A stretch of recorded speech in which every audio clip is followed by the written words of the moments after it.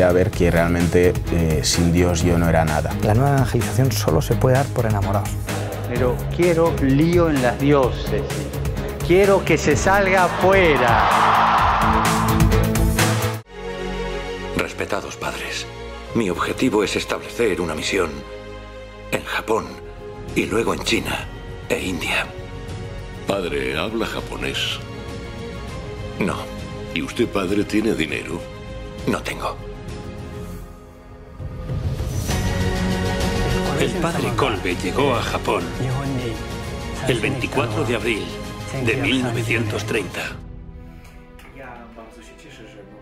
Eh, bueno, no voy a ocultar que el personaje de San Maximiliano Kolbe en Polonia sí se conocía y conoce bastante, pero evidentemente el episodio más conocido y más famoso es el- la última etapa de su vida, cuando ya en el campo de concentración de Auschwitz entrega su vida por el señor Gajowniczek, que era otro prisionero del campo.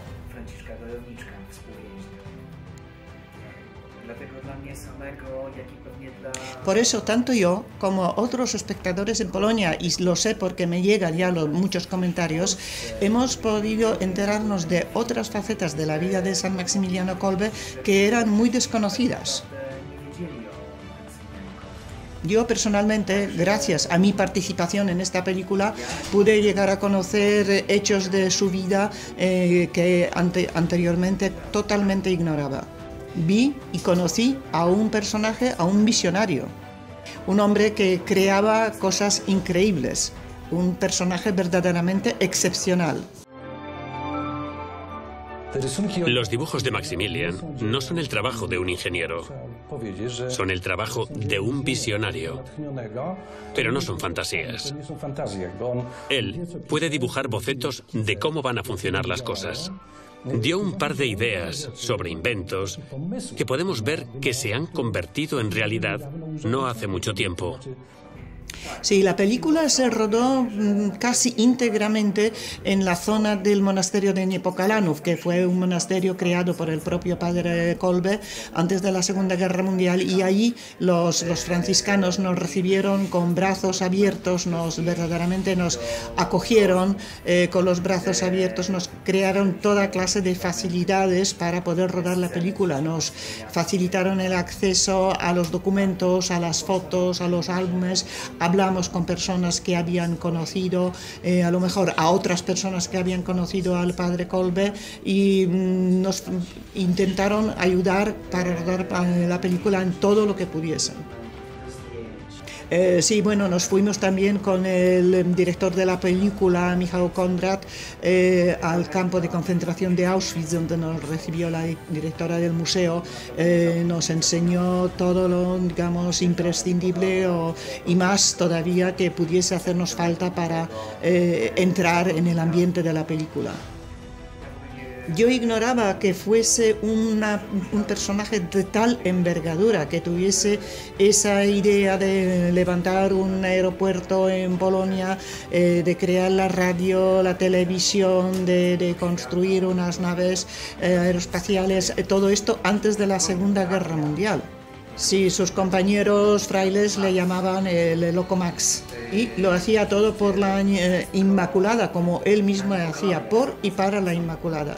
Yo tenía la imagen, bueno, que recordaba de mm, los tiempos de mi infancia, cuando siendo monaguillo iba, pues, mm, con peregrinaciones al monasterio de Nipokalanu, pues de un personaje ya vestido con traje a rayas del campo de concentración de Auschwitz, una persona mayor, demacrada, con, con gafas y, ya con el muy, muy canosa. Esa era la imagen que yo guardaba del padre Kolbe. Eh, sí, se me escapaba toda la etapa anterior a su encarcelamiento en Auschwitz. O sea, yo siempre le miraba a través de esa, de esa visión de Auschwitz y sin embargo pues había una etapa muy importante anteriormente. ¿Dónde conseguiste el dinero? ¿Entiendes lo que te estoy diciendo?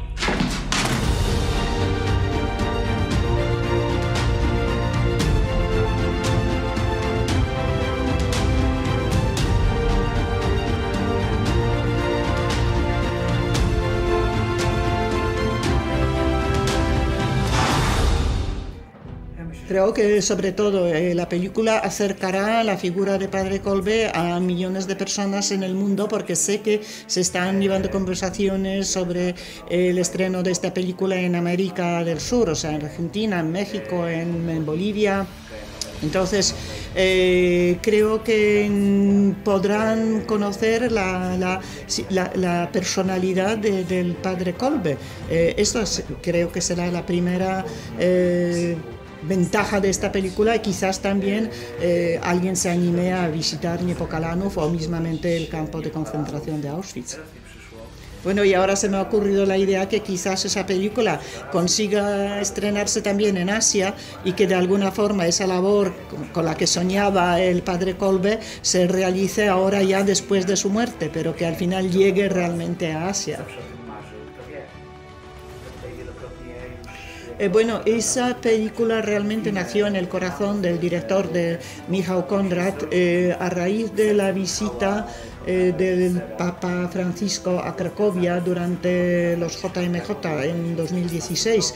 Durante su estancia en Polonia, el Papa dedicó un día a visitar Auschwitz y entró precisamente en el pabellón 11, en ese búnker de, de, la muerte del padre Maximiliano Kolbe. Entonces, muchísimas televisiones internacionales que estaban televisando la visita del Papa a Auschwitz eh, plantearon la pregunta, ¿quién era Maximiliano Kolbe.